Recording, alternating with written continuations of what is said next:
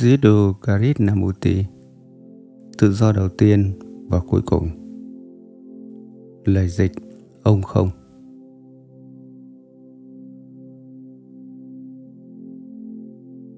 Trong giới thiệu của Andrew Hutley Ông viết Trong tuyển tập những nói chuyện được thâu băng và những bài viết của Krishnamurti độc giả sẽ nhận được một khẳng định đương thời, rõ ràng, về vấn đề cơ bản của con người.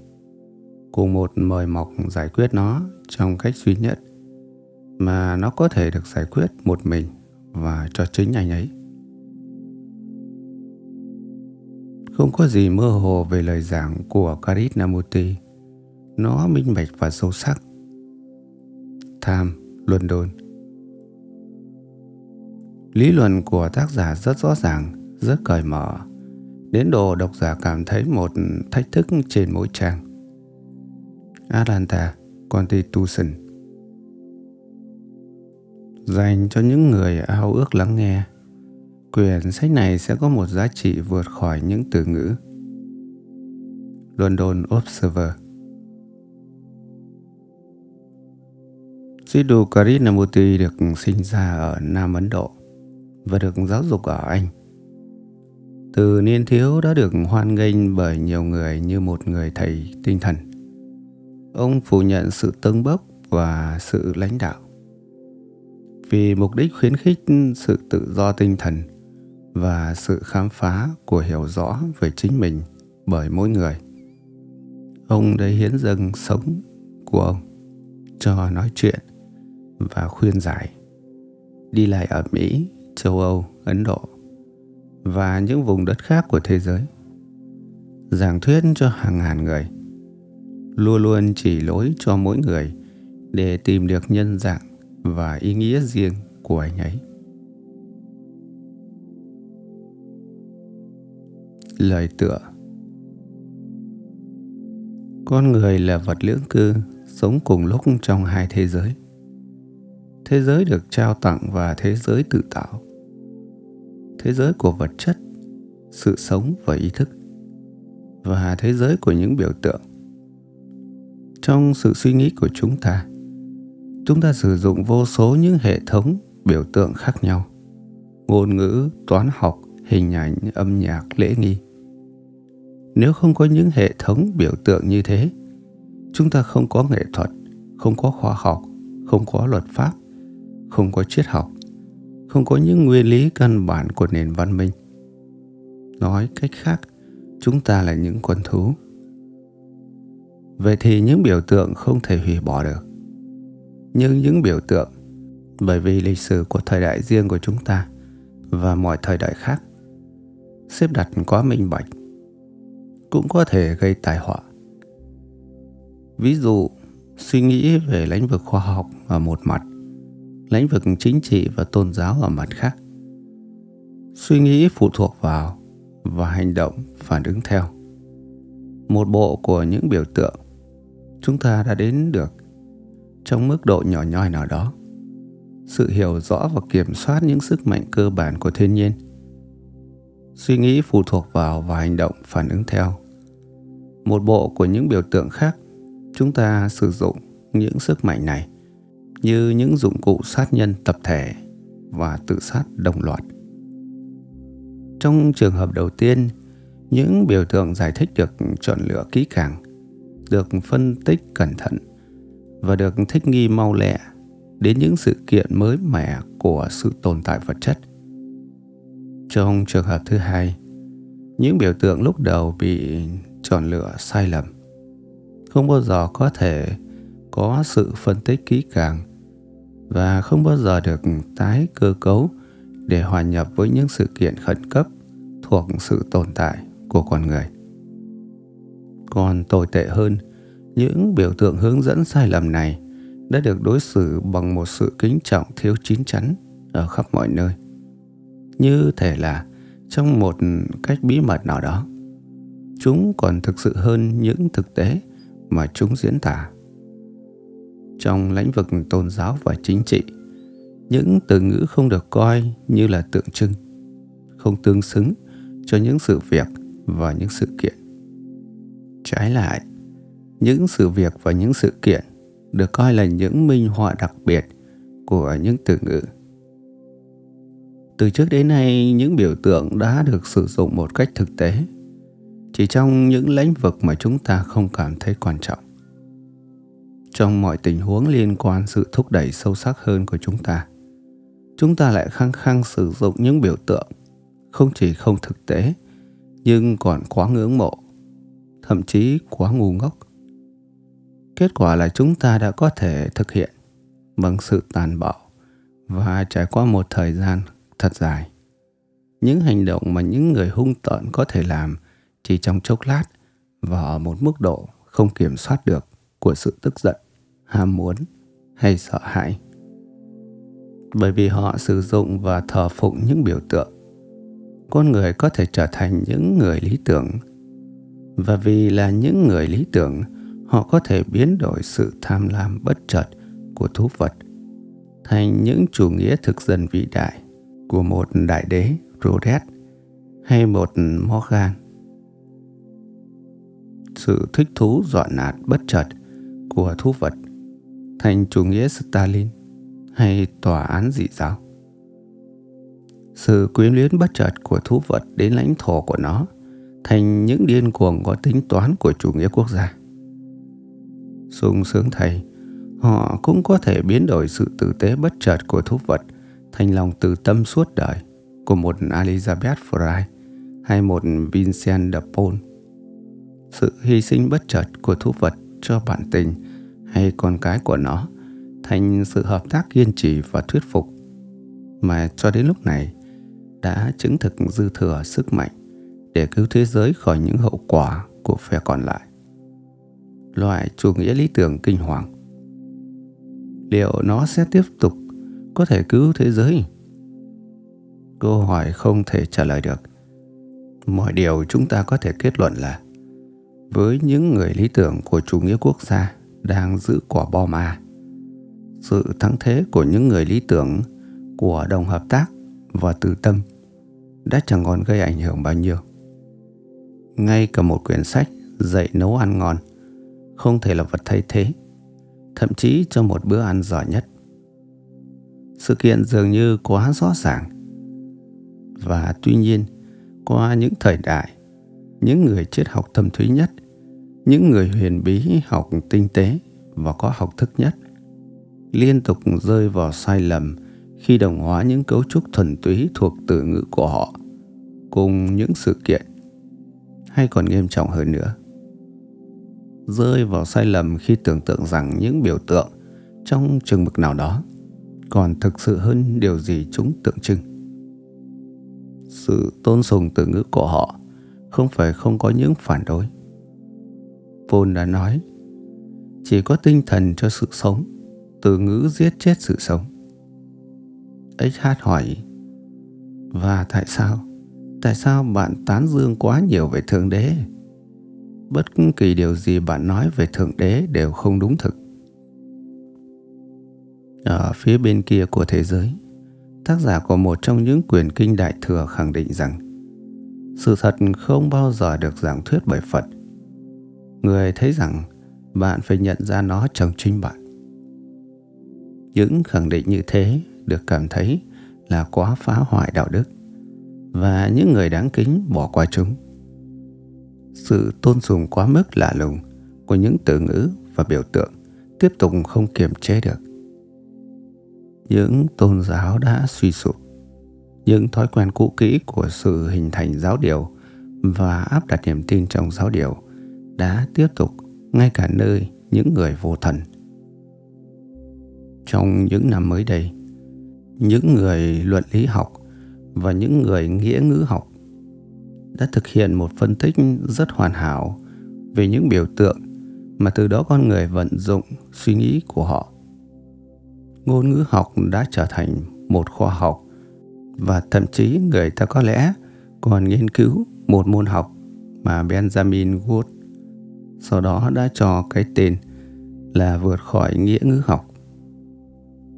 Tất cả việc này được khen ngợi, nhưng nó vẫn chưa đủ luận lý học và ngôn ngữ học, nghĩa ngữ học và vượt khỏi nghĩa ngữ học. Đây là những môn học thuần túy thuộc trí năng. Chúng phân tích những phương pháp khác nhau, đúng và không đúng, có ý nghĩa và không ý nghĩa. Mà trong đó những từ ngữ có thể liên quan đến những sự việc, những quy trình và những sự kiện. Nhưng chúng không đưa ra sự hướng dẫn liên quan đến vấn đề căn bản hơn về nhiều. Sự liên hệ của con người trong toàn sinh lý tâm lý của anh ấy ở một phía. Và thế giới của anh ấy thế giới của những sự kiện và thế giới của những biểu tượng ở phía kia. Trong mọi vùng đất và mọi thời điểm lịch sử vấn đề đã được giải quyết lặp đi lặp lại bởi những người đàn ông và phụ nữ cá thể. Thậm chí họ đã nói hay viết, những cá thể này không tạo ra những hệ thống, bởi vì họ đã biết rằng mỗi hệ thống là một quyến rũ có giá trị để thâu nhận một cách quá nghiêm túc những biểu tượng để chú ý nhiều đến những từ ngữ hơn là những thực tế mà những từ ngữ được yêu cầu đại diện mục đích của họ là không bao giờ đưa ra những giải thích và những đáp án làm sẵn. Mục đích của họ là thôi thúc con người chẩn đoán và chữa trị những căn bệnh riêng của anh ấy thúc đẩy anh ấy đến một mấu chốt nơi vấn đề của anh ấy và giải pháp của nó yêu cầu chính anh ấy trải nghiệm một cách trực tiếp. Trong tuyển tập từ những bài viết và những nói chuyện được ghi băng của Krishnamurti, độc giả sẽ tìm được một diễn tả đương đại rõ ràng. Vấn đề căn bản của con người cùng với một mỏi mọc để giải quyết nó trong cách duy nhất mà nó có thể được giải quyết bởi chính anh ấy và cho chính anh ấy. Những giải pháp tập thể mà quá nhiều người cột chặt sự trung thành của họ vào nó một cách vô vọng, không bao giờ trọn vẹn. Muốn hiểu rõ sự đau khổ và rối loạn tồn tại bên trong chính chúng ta. Và vì vậy trong thế giới, trước hết chúng ta phải tìm được sự rõ ràng bên trong chính chúng ta. Và sự rõ ràng đó xảy ra qua suy nghĩ đúng đắn. Sự rõ ràng này không phải được tổ chức vì nó không thể được trao đổi với một người khác suy nghĩ thành nhóm có tổ chức chỉ là lặp lại sự rõ ràng không là kết quả của sự khẳng định bằng ngôn ngữ, nhưng của sự tỉnh thức và suy nghĩ đúng đắn lạ thường. Suy nghĩ đúng đắn không là kết quả của hay sự nuôi dưỡng thuần túy của trí năng. Nó cũng không là sự tuân phục vào khuôn mẫu, dù khuôn mẫu đó giá trị và cao quý đến chừng nào. Suy nghĩ đúng đắn theo cùng hiểu rõ về chính mình nếu không có hiểu rõ về chính mình, bạn không có nền tảng cho suy nghĩ đúng đắn. Nếu không có hiểu rõ về chính mình, điều gì bạn suy nghĩ là không đúng thực. Chủ đề cơ bản này được phát triển bởi Krishnamurti trong đoạn này, tiếp theo đoạn khác. Có hy vọng trong con người, không phải trong xã hội, không phải trong những hệ thống, không phải trong những hệ thống tôn giáo có tổ chức, nhưng trong bạn và trong tôi những tôn giáo có tổ chức với những người trung gian của chúng những quyển sách thiêng liêng của chúng những giáo điều của chúng những chức sắc và những lễ nghi của chúng chỉ trao tặng một giải pháp giả dối cho vấn đề cơ bản khi bạn trích dẫn kinh Bhagavad Gita hay kinh thánh hay quyển sách thiêng liêng Trung Quốc nào đó. Chắc chắn bạn đang lặp lại, phải vậy không? Và điều gì bạn đang lặp lại không là sự thật. Nó là một dối trá, bởi vì sự thật không thể được lặp lại. Một dối trá có thể được mở rộng, được hoàn thiện và được lặp lại, nhưng không là sự thật. Khi bạn lặp lại sự thật, nó không còn là sự thật và vì vậy những quyển kinh linh thiêng không quan trọng không phải qua niềm tin trong những biểu tượng của ai đó nhưng chỉ qua hiểu rõ về chính mình, một con người đến được sự thật vĩnh hằng. Trong đó thân tâm của anh ấy được đặt nền tảng. Niềm tin trong sự đáp ứng trọn vẹn và giá trị tuyệt đối của bất kỳ hệ thống biểu tượng được thiết lập sẵn nào. Không dẫn đến sự giải thoát, nhưng đến quá khứ, đến nặng nề hơn cùng những thảm họa cũ kỹ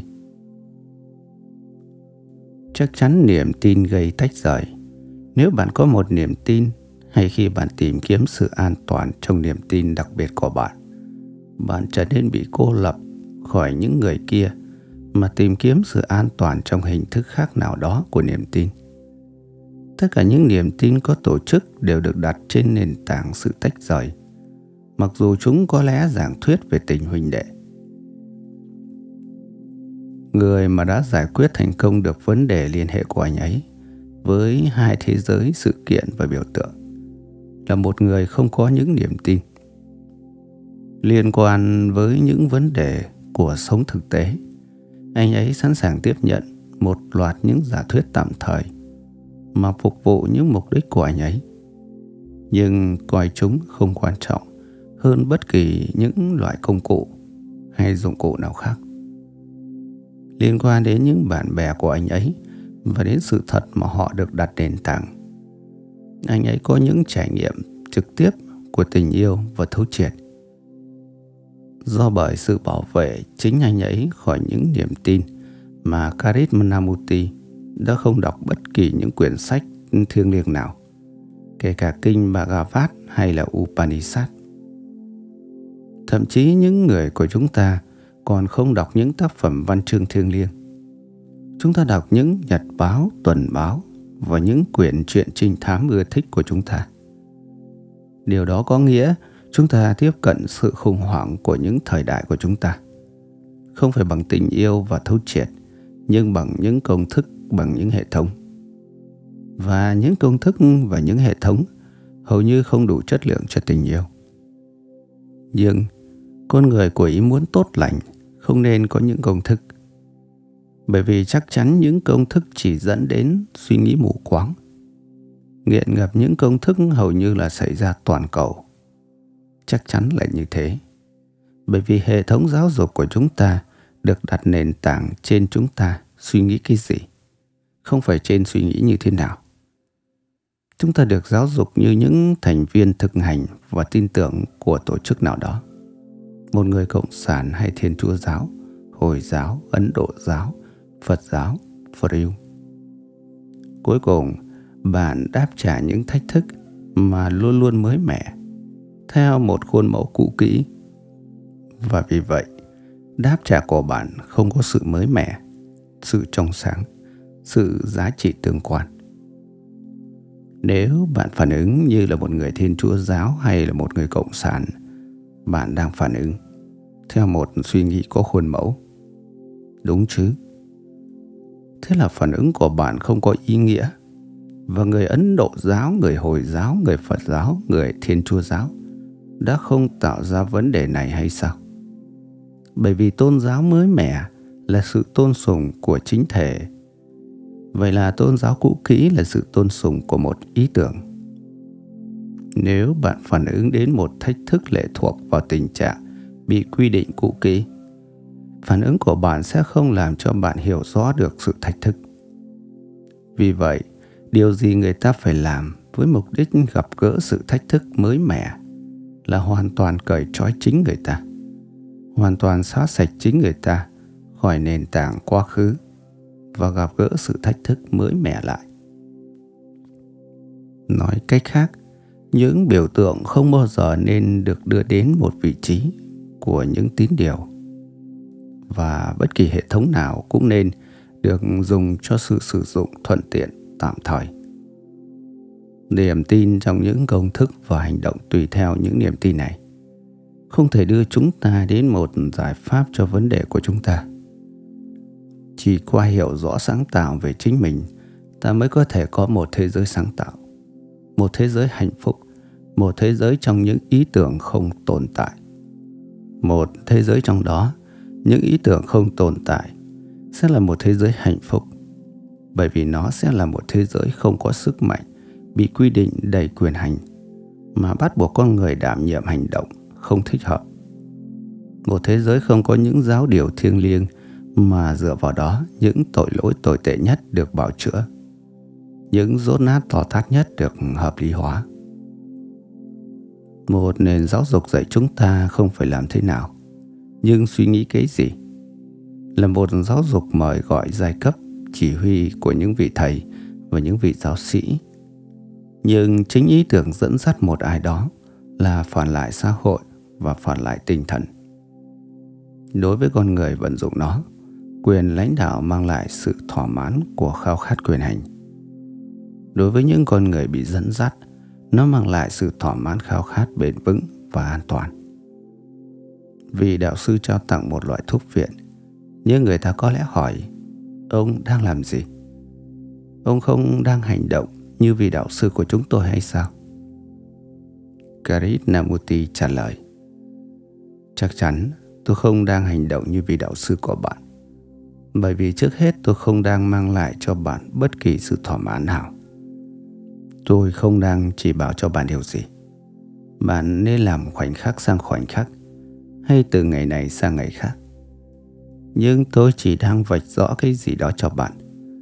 Bạn có thể thâu nhận hay là từ chối nó, phụ thuộc vào bạn, không phải vào tôi. Tôi không đòi hỏi một sự việc gì từ bạn. Không đòi hỏi sự tôn sùng của bạn, sự nịnh nọt của bạn, sự lăng nhục của bạn, những vị chúa của bạn tôi nói, đây là sự thật, hãy thâu nhận nó hay khước từ nó.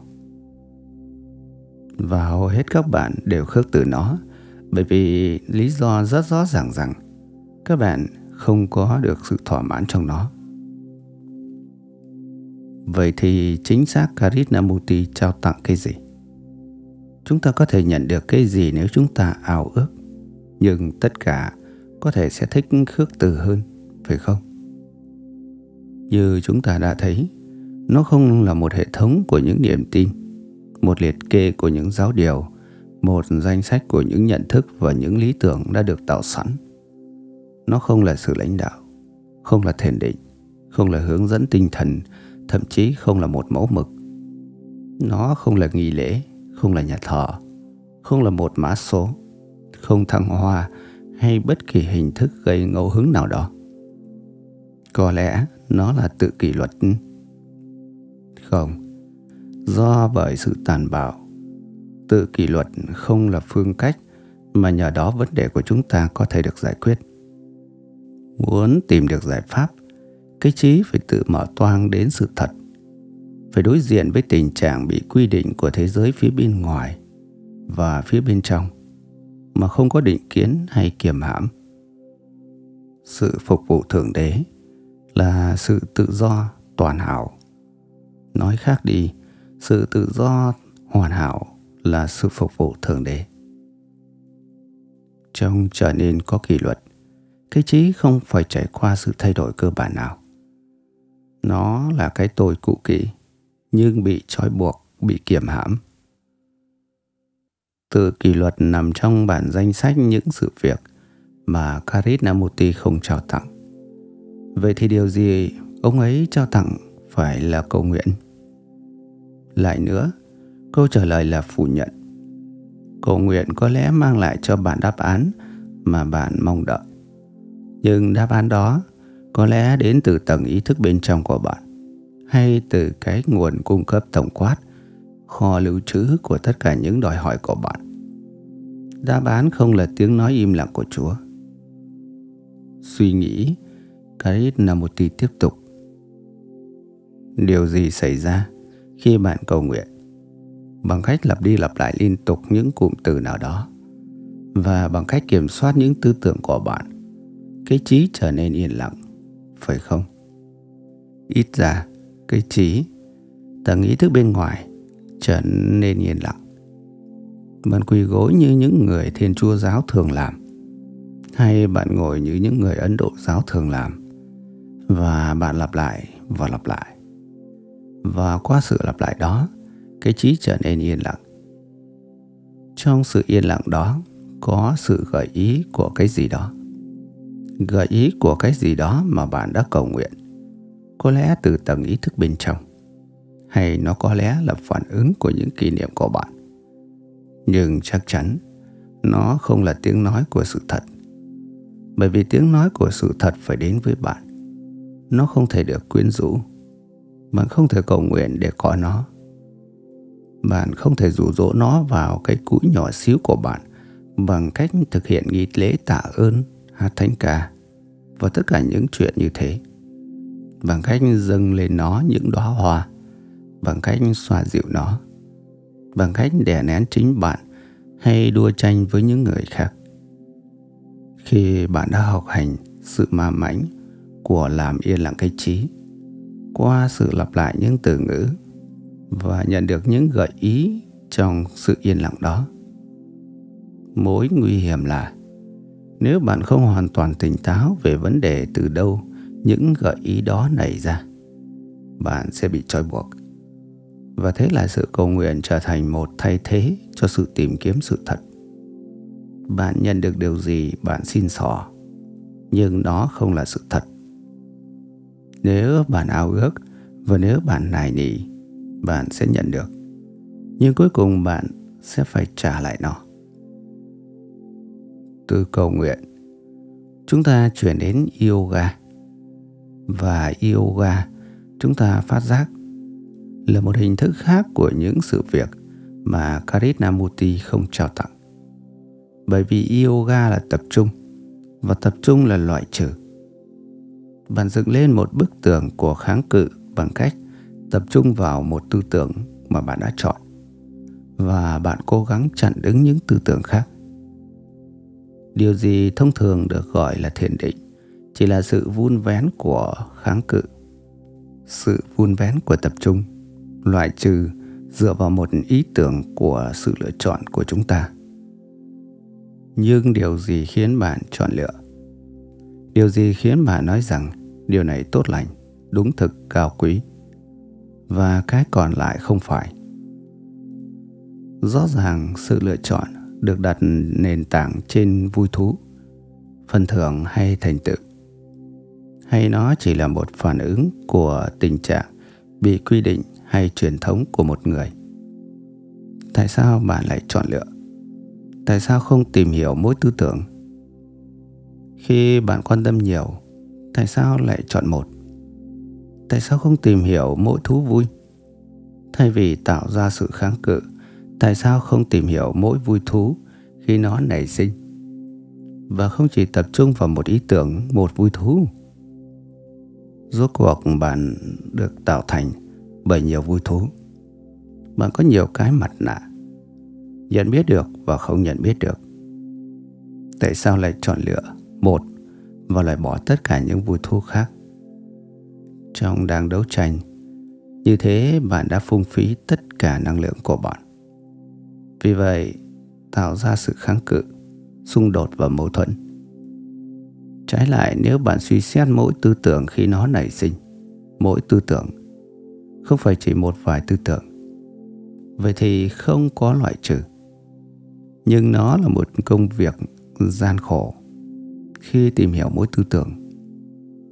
Bởi vì khi bạn đang nhìn một tư tưởng, một tư tưởng khác len lẻn vào nhưng nếu bạn tỉnh thức mà không có chi phối hay biện hộ, bạn sẽ thấy rằng bằng cách chỉ nhìn vào tư tưởng đó, không tư tưởng nào khác quấy dày.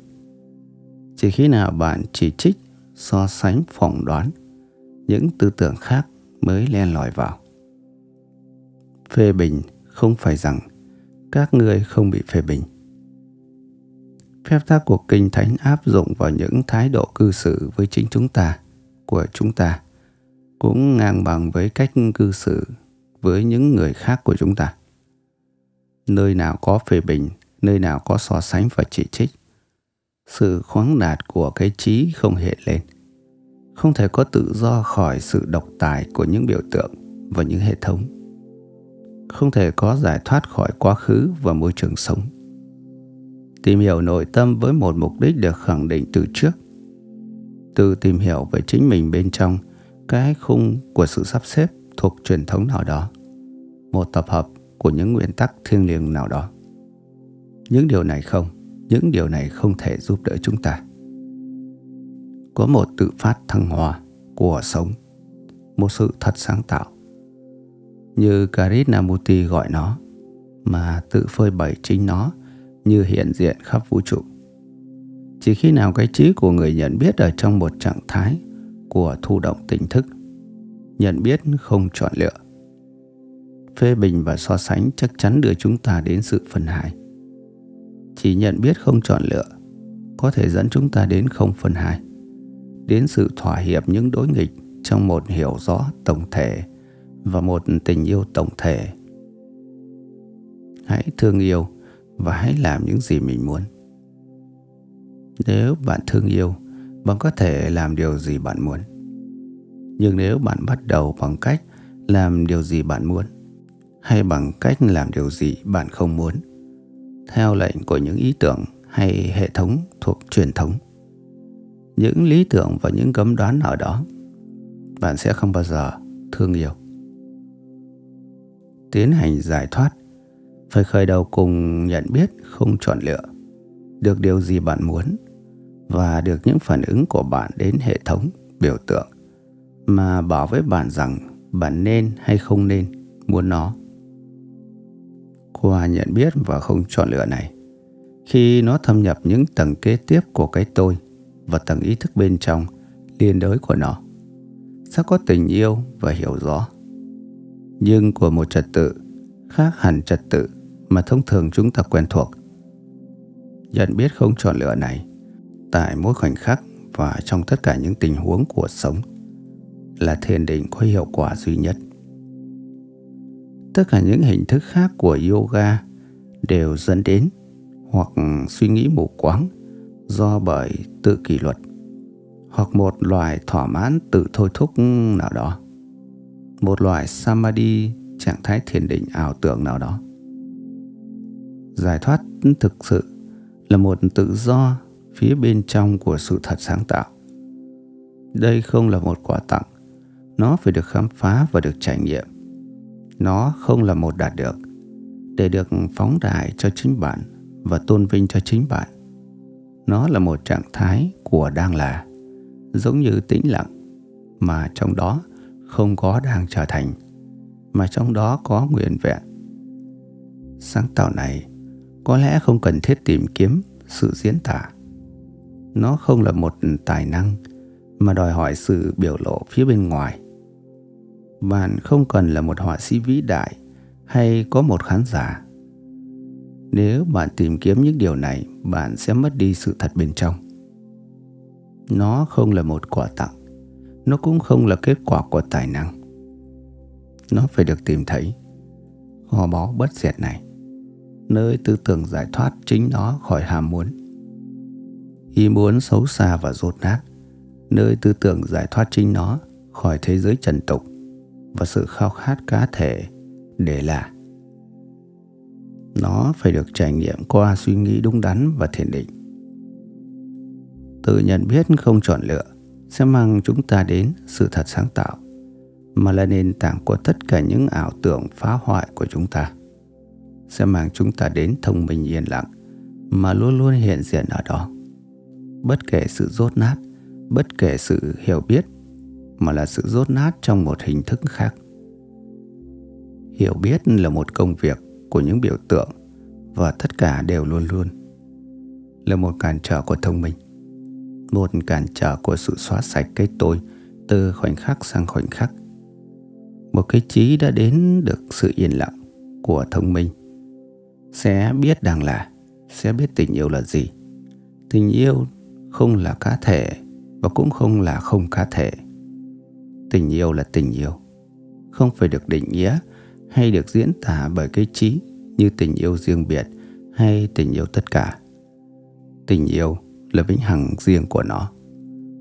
Nó là sự thật, cái tối thượng, cái vô hạn. Andrew Hutley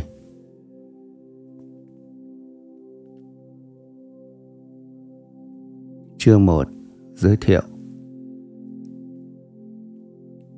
Muốn truyền đạt với nhau, Thậm chí nếu chúng ta biết nhau rất rõ, Là khó khăn cực kỳ. Tôi có lẽ sẽ sử dụng những từ ngữ Mà đối với bạn có lẽ có một ý nghĩa khác hẳn ý nghĩa của tôi Hiểu rõ có được khi chúng ta, bạn và tôi, gặp gỡ nhau trên cùng một mức độ tại cùng thời điểm. Điều đó xảy ra chỉ khi nào có yêu thương thực sự giữa con người con người, giữa người chồng và người vợ, giữa những người bạn thân thiết với nhau. Đó là hiệp thông thực sự. Hiểu rõ đến tức khắc khi chúng ta gặp gỡ trên cùng mức độ tại cùng thời điểm. Rất khó khăn khi hiệp thông cùng nhau một cách hiệu quả, dễ dàng và với hành động rõ rệt. Tôi đang sử dụng những từ ngữ đơn giản, không phải thuộc kỹ thuật, bởi vì tôi không nghĩ rằng bất kỳ diễn tả kỹ thuật nào sẽ giúp đỡ chúng ta giải quyết được những vấn đề khó khăn của chúng ta. Vì vậy, tôi sẽ không sử dụng bất kỳ những thuật ngữ hoặc là tâm lý hoặc khoa học. Tôi không đọc bất kỳ quyển sách về tâm lý hay bất kỳ quyển sách tôn giáo nào. May mắn thay. Tôi muốn truyền tải bằng những từ ngữ rất đơn giản mà chúng ta sử dụng trong sống hàng ngày của chúng ta. Một ý nghĩa sâu thẳm hơn. Nhưng điều đó rất khó khăn nếu bạn không biết lắng nghe như thế nào. Có một nghệ thuật của lắng nghe. Để có thể lắng nghe thực sự, người ta nên buông bỏ hay gạt đi tất cả những thành kiến, những định kiến và những hoạt động hàng ngày. Khi bạn ở trong một trạng thái thâu nhận liên tục của cái trí, những sự việc có thể được hiểu rõ dễ dàng. Bạn đang lắng nghe khi chú ý thực sự của bạn được trao vào một điều gì đó. Nhưng bất hạnh thay, hầu hết chúng ta đều lắng nghe qua một bức màn của kháng cự. Chúng ta bị che khuất bởi những thành kiến, dù thuộc tín ngưỡng hay thuộc tinh thần, thuộc tâm lý hay thuộc khoa học, hay bởi những lo âu, những hàm muốn và những sợ hãi hàng ngày của chúng ta. Và cùng với những sự việc này làm thành một bức màn, chúng ta lắng nghe. Vì vậy, thật ra chúng ta lắng nghe sự huyền áo riêng của chúng ta, âm thanh riêng của chúng ta. Không phải điều gì đang được nói. Rất khó khăn khi gạt đi sự rèn luyện của chúng ta, những thành kiến của chúng ta, khuynh hướng của chúng ta, kháng cự của chúng ta và vượt khỏi sự diễn tả bằng từ ngữ để lắng nghe đến độ chúng ta hiểu rõ ngay tức khắc. Đó sẽ là một trong những khó khăn của chúng ta. Nếu trong suốt nói chuyện này, bất kỳ điều gì được nói ra mà trái ngược với suy nghĩ và niềm tin của bạn, chỉ lắng nghe, đừng phản kháng. Bạn có lẽ đúng và tôi có lẽ sai. Nhưng bằng cách lắng nghe và suy xét cùng nhau, chúng ta sẽ tìm ra sự thật là gì sự thật không thể được trao tặng cho bạn bởi người nào đó bạn phải tìm ra nó và muốn tìm ra bạn phải có một trạng thái của cái trí mà trong đó có sự nhận biết trực tiếp. Không có nhận biết trực tiếp khi có một kháng cự, một phòng vệ, một bảo vệ. Hiểu rõ hiện diện có nhận biết được cái gì là. Nhận biết chính xác cái gì là. Cái thực sự, cái thực tại mà không diễn giải nó, không chỉ trích hay biện hộ nó là chắc chắn sự khởi đầu của thông minh chỉ khi nào chúng ta bắt đầu diễn giải giải thích, tùy theo tình trạng bị quy định của chúng ta, tùy theo thành kiến của chúng ta, lúc đó chúng ta mất đi sự thật. Rốt cuộc, nó giống như sự tìm hiểu. Muốn biết một việc gì đó là gì, chính xác nó là gì, đòi hỏi sự tìm hiểu. Bạn không thể diễn giải nó tùy theo những tâm trạng của bạn. Tương tự nếu chúng ta có thể nhìn ngắm quan sát, lắng nghe, nhận biết được cái gì là một cách chính xác, vậy thì vấn đề được giải quyết. Và đó là điều gì chúng ta đang cố gắng thực hiện trong tất cả những nói chuyện này. Tôi sẽ chỉ rõ cho bạn cái gì là và không diễn giải nó tùy theo sự tưởng tượng của tôi. Bạn cũng không nên diễn giải nó hay giải thích nó tùy theo nền tảng quá khứ hay sự giáo dục của bạn vậy thì không thể nhận biết được một thứ như nó là hay sao chắc chắn khởi đầu từ đó có thể có một hiểu rõ thừa nhận nhận biết được nắm được cái là kết thúc đấu tranh. Nếu tôi biết rằng tôi là một người nói dối và nó là một sự kiện mà tôi nhận ra, vậy thì đấu tranh kết thúc. Thừa nhận, nhận biết được người ta là gì là sự khởi đầu của thông minh rồi. Sự khởi đầu của hiểu rõ mà giải thoát bạn khỏi thời gian. Khi mang vào chất lượng của thời gian. Thời gian không phải trong ý nghĩa tuần tự, nhưng như một vật trung gian, như một quy trình tâm lý, quy trình của cái trí, là hủy hoại và tạo tác sự rối loạn. Vì vậy, chúng ta có thể hiểu rõ cái gì là khi chúng ta công nhận nó mà không giải thích, không biện hộ, không gắn kết. Nhận biết được rằng người ta đang ở trong một quy định nào đó, trong một trạng thái nào đó, là đã có sẵn một tiến trình giải thoát. Nhưng một con người không nhận biết được quy định của anh ấy, đấu tranh của anh ấy. Cố gắng là một cái gì đó khác hơn anh ấy là tạo ra thói quen. Vì vậy chúng ta hãy luôn luôn nhớ rằng chúng ta muốn tìm hiểu cái gì là quan sát và nhận biết được chính xác cái gì là thực sự. Không cho nó bất kỳ ý nghĩa bóng bẩy, không cho nó một giải thích. Nó cần một cái trí nhạy bén lạ thường, một tâm hồn mềm dẻo lạ thường để nhận biết được và để theo sát cái gì là. Bởi vì cái gì là đang liên tục chuyển động, đang liên tục trải qua một thay đổi. Và nếu cái trí bị trói buộc vào niềm tin và hiểu biết, nó chấm dứt sự theo đuổi. Nó không còn theo sát chuyển động mau lẹ của cái gì là. Chắc chắn cái gì là không đứng yên. Nó luôn luôn đang chuyển động. Như bạn sẽ thấy nếu bạn quan sát nó rất kỹ càng. Muốn theo sát nó, bạn cần một cái trí rất nhạy bén và một tâm hồn thật mềm dẻo mà bị chối từ khi cái trí đứng yên, cố định trong một niềm tin, trong một thành kiến, trong một nhận dạng. Và một cái trí, một tâm hồn cẩn cỗi không thể theo sát một cách dễ dàng mau lẹ cái gì là. Tôi nghĩ người ta biết được mà không cần có quá nhiều bản cãi và nhiều diễn giải bằng từ ngữ rằng có sự hỗn loạn hoang mang và đau khổ cá thể cũng như là tập thể. Không chỉ ở Ấn Độ nhưng khắp thế giới. Ở Trung Quốc, Mỹ, Anh, Đức, toàn thế giới có hỗn loạn, đau khổ trồng chất. Không chỉ thuộc quốc gia, không chỉ ở đây, nó ở khắp thế giới. Có sự đau khổ vô cùng và nó không những của cá thể nhưng còn cả của tập thể. Vì vậy nó là một thảm kịch của thế giới và chỉ giới hạn nó vào một khu vực địa lý, một phần tô màu của tấm bản đồ là điều vô lý. Bởi vì nếu vậy, bạn sẽ không hiểu rõ trọn vẹn ý nghĩa của sự đau khổ cá thể cũng như toàn thế giới này. Nhận biết được sự hỗn loạn này, phản ứng ngày hôm nay của chúng ta là gì? Chúng ta phản ứng như thế nào đây?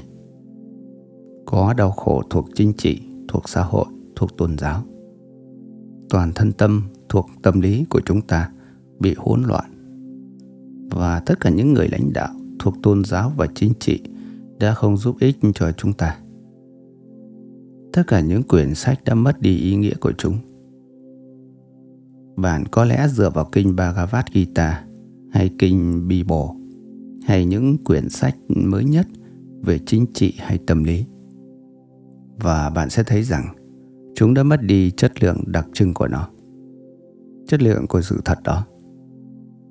Chúng đã trở thành thuần túy những từ ngữ. Bạn, chính bạn, mà là người lặp lại những từ ngữ kia, bị rối loạn và hoang mang, và chỉ lặp lại những từ ngữ không truyền tải được điều gì cả. Vì vậy, những từ ngữ và quyển sách đã mất đi giá trị của chúng. Đó là, nếu bạn trích dẫn kinh bì bổ, hay mắc hay kinh Bhagavad Gita bởi vì bạn, người trích dẫn nó, chính bạn bị hoang mang, rối loạn. Sự lặp lại của bạn chỉ trở thành lời nói láo. Bởi vì điều gì được viết ra ở đó trở thành thuần túy là tuyên truyền. Và tuyên truyền không là sự thật. Vì vậy khi bạn lặp lại, bạn đã chấm dứt hiểu rõ trạng thái thân tâm riêng của bạn. Bạn chỉ che đậy sự rối loạn riêng của bạn bằng những từ ngữ của uy quyền. Nhưng điều gì chúng ta đang cố gắng làm là hiểu rõ rối loạn này và không che đậy nó bằng những trích dẫn. Vậy là phản ứng của bạn đến nó là gì? Bạn phản ứng đến sự hỗn loạn lạ thường này, hoang mang này, sự bất ổn của tồn tại này như thế nào? Hãy nhận biết được nó. Khi tôi bàn luận về nó, theo sát không phải những từ ngữ của tôi, nhưng sự suy nghĩ mà đang năng động trong bạn. Hầu hết chúng ta đều quen là những khán giả và không tham gia vào trò chơi. Chúng ta đọc những quyển sách nhưng không bao giờ viết những quyển sách. Nó đã trở thành truyền thống của chúng ta. Thói quen toàn cầu và quốc gia của chúng ta để là những khán giả để xem một trận bóng đá, để xem những người chính trị và những người giảng thuyết. Chúng ta chỉ là những người đứng ngoài, nhìn vào và chúng ta đã mất đi khả năng sáng tạo. Vì vậy chúng ta muốn thâm nhập và thẩm thấu.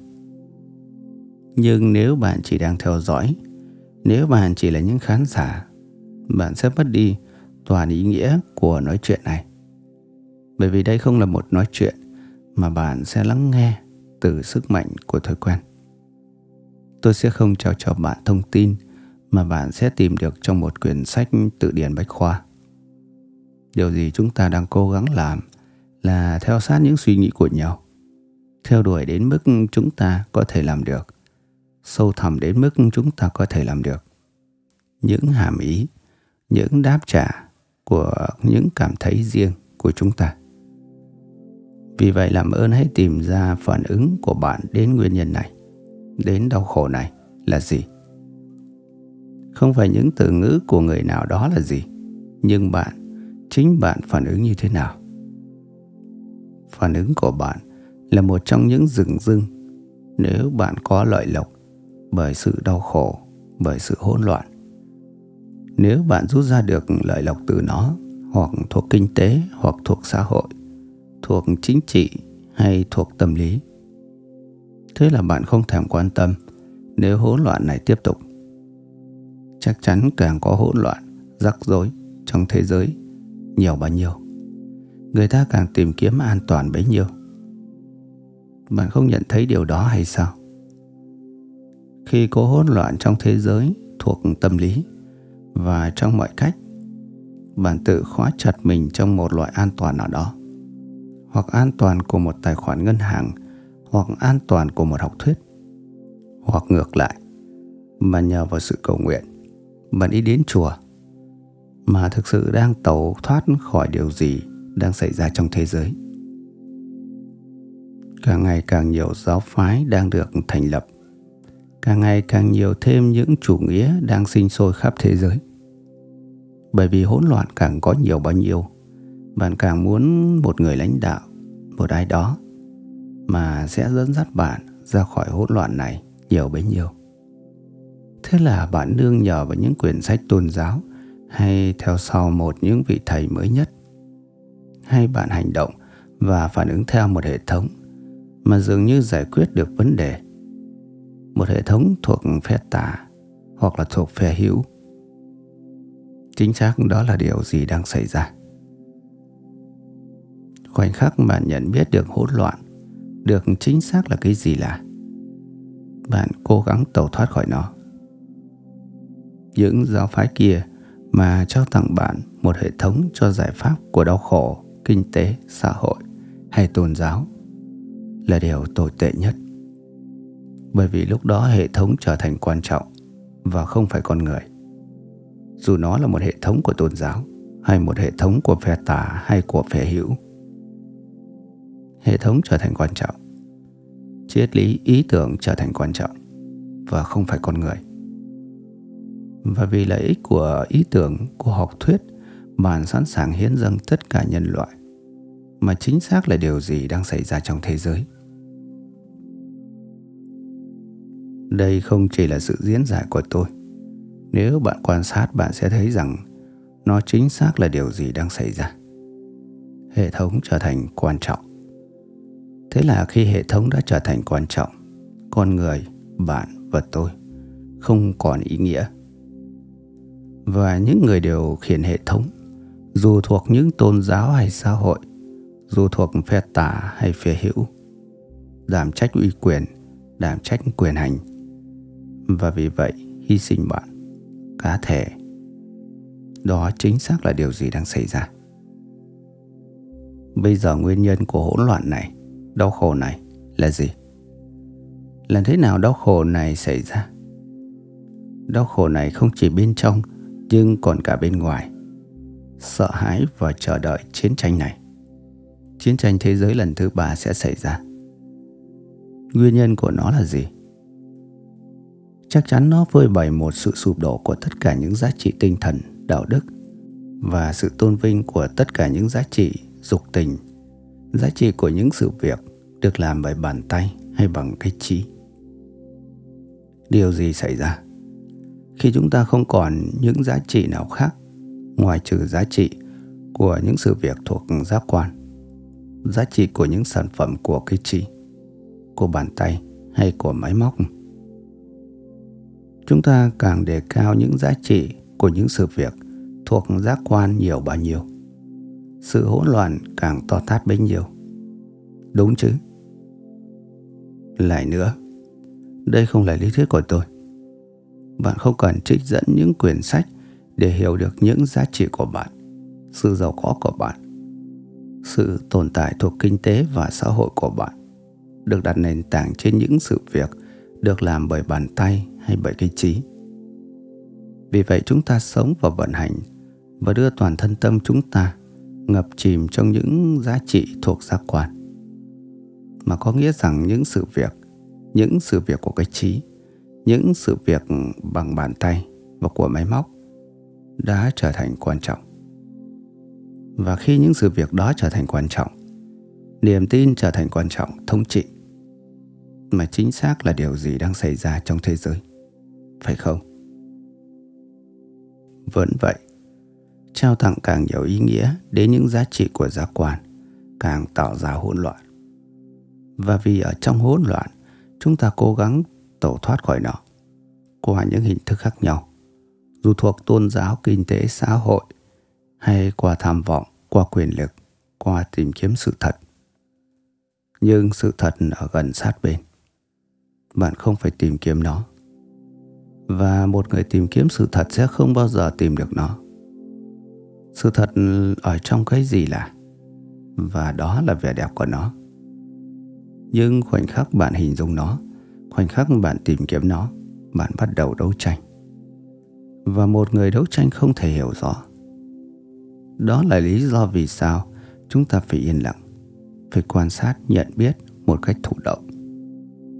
Chúng ta thấy rằng sống của chúng ta, hành động của chúng ta luôn luôn ở trong phạm vi của hủy hoại, trong phạm vi của đau khổ, giống như là một cơn sóng rối loạn và hỗn loạn luôn luôn bao phủ chúng ta không có khoảng ngừng trong sự hỗn loạn của tồn tại hiện nay bất kỳ điều gì chúng ta làm dường như đều dẫn đến hỗn loạn dường như đều dẫn đến đau khổ và bất hạnh hãy nhìn vào sống riêng của bạn và bạn sẽ thấy rằng sống của bạn luôn luôn trong vòng vây của đau khổ. Công việc của chúng ta, hoạt động xã hội của chúng ta, chính trị của chúng ta, sự quy tụ các quốc gia để chấm dứt chiến tranh. Tất cả đều tạo ra chiến tranh thêm nữa. Sự hủy diệt liền ngay sau sống. Bất kỳ điều gì chúng ta làm đều dẫn đến chết chóc. Đó là điều gì thực sự đang xảy ra liệu chúng ta có thể kết thúc đau khổ này ngay tức khắc và không tiếp tục bị trói buộc trong chuyển động của hoang mang và đau khổ đó là những vị thầy vĩ đại đó là phật hay chúa đã đến. Họ đã đảm nhận sự thật làm cho chính họ có lẽ được tự do khỏi hỗn loạn và đau khổ. Nhưng họ đã không bao giờ ngăn cản được đau khổ. Họ đã không bao giờ kết thúc được hỗn loạn. Hỗn loạn tiếp tục, đau khổ tiếp tục. Nếu bạn khi thấy sự lộn xộn thuộc kinh tế và xã hội này, hỗn loạn này, đau khổ này, rút lui vào cái gì được gọi là đời sống tôn giáo và lẩn tránh thế giới. Bạn có lẽ cảm thấy bạn đang ở chung cùng những vị thầy vĩ đại này. Nhưng thế giới vẫn tiếp tục cùng những hỗn loạn của nó, đau khổ của nó và hủy hoại của nó. Đau khổ mãi mãi của những người giàu có và những người nghèo khó của nó. Vì vậy vấn đề của chúng ta, vấn đề của bạn và vấn đề của tôi là liệu chúng ta có thể ra khỏi đau khổ này ngay tức khắc. Nếu đang sống trong thế giới, bạn phủ nhận là một bộ phận của nó. Bạn sẽ giúp đỡ những người khác ra khỏi hỗn loạn này. Không phải trong tương lai, không phải ngày mai, nhưng ngay lúc này. Chắc chắn đó là vấn đề của chúng ta. Chiến tranh có thể sắp xảy ra, hủy diệt hơn, thảm khốc hơn trong hình thức của nó. Chắc chắn chúng ta không thể ngăn cản được nó bởi vì những bất đồng càng ngày càng sâu đậm và quá gần gũi. Nhưng bạn và tôi có thể nhận biết được sự hỗn loạn và đau khổ ngay tức khắc. Đúng chứ?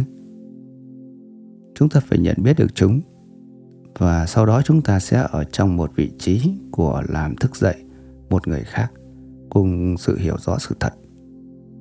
Nói cách khác, bạn có thể được tự do ngay tức khắc hay không? Bởi vì đó là cách duy nhất để vượt ra khỏi sự khổ đau này. Nhận biết có thể xảy ra trong hiện tại. Nhưng nếu bạn nói, tôi sẽ thực hiện nó vào ngày mai, còn sóng của sự hỗn loạn bùa vây bạn. Và rồi thì bạn luôn luôn bị chìm nghỉm trong hỗn loạn. Bây giờ liệu có thể đến được trạng thái đó khi chính bạn nhận biết được sự thật ngay tức khắc và thế là kết thúc hỗn loạn Tôi nói rằng được. Và rằng nó là cách duy nhất. Tôi nói rằng nó có thể làm được Và phải được làm. Không bị đặt nền tảng trên giả thuyết hay niềm tin. Tạo ra sự cách mạng lạ thường này, Mà không phải thuộc cách mạng Để loại bỏ những người tư bản Và thiết lập một nhóm người khác. Tạo ra sự thay đổi kỳ diệu này Là cách mạng thực sự duy nhất, Là nghi vấn. Điều gì thông thường được gọi là cách mạng chỉ là sự bổ sung hay sự tiếp tục của phe hữu tùy theo những ý tưởng của phe tả. Phe tả sau đó là sự tiếp tục của phe hữu trong một hình thức được bổ sung. Nếu phe hữu được đặt nền tảng trên những giá trị thuộc giác quan, phe tả không là gì cả, ngoài trừ sự tiếp tục của cùng những giá trị thuộc giác quan. Khác biệt chỉ trong mức độ hay diễn tả. Vì vậy, cách mạng thực sự có thể xảy ra chỉ khi nào bạn cá thể trở nên nhận biết được trong liên hệ với một người khác của bạn. Chắc chắn điều gì bạn là trong liên hệ với một người khác, với người vợ của bạn, người con của bạn, ông chủ của bạn, người hàng xóm của bạn là xã hội. Xã hội tự chính nó không tồn tại. Xã hội là điều gì bạn và tôi trong liên hệ của chúng ta đã tạo ra.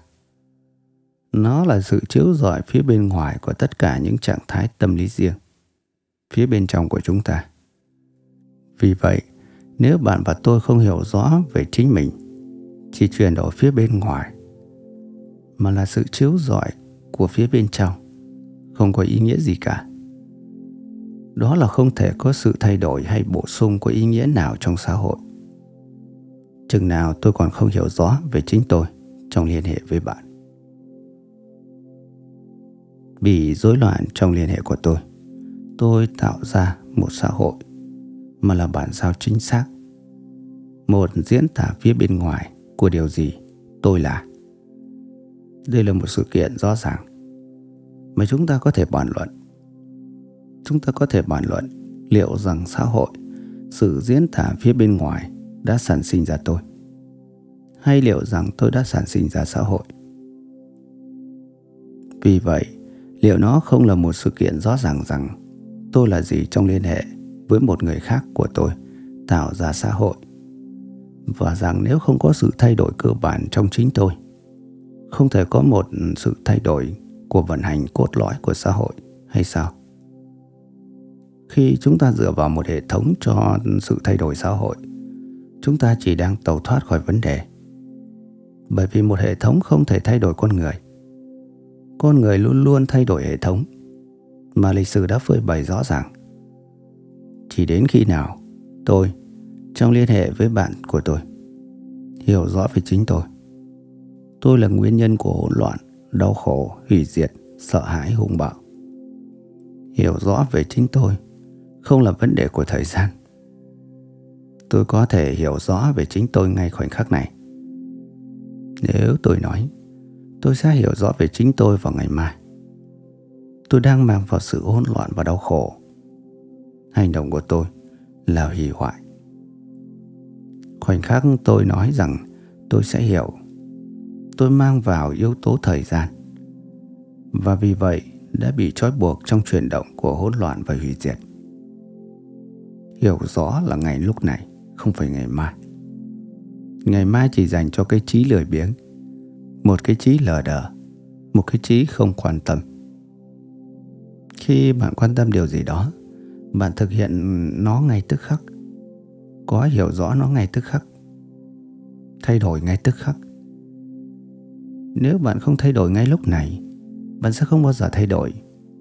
Bởi vì thay đổi xảy ra vào ngày mai chỉ là một bổ sung. Nó không là thay đổi thay đổi chỉ có thể xảy ra ngay tức khắc. Cách mạng là ngay lúc này, không phải ngày mai. Khi điều đó xảy ra, bạn hoàn toàn không có một vấn đề. Bởi vì lúc đó cái tôi không còn tự lo âu về chính nó. Vậy thì bạn vượt khỏi chuyển động của hủy diệt.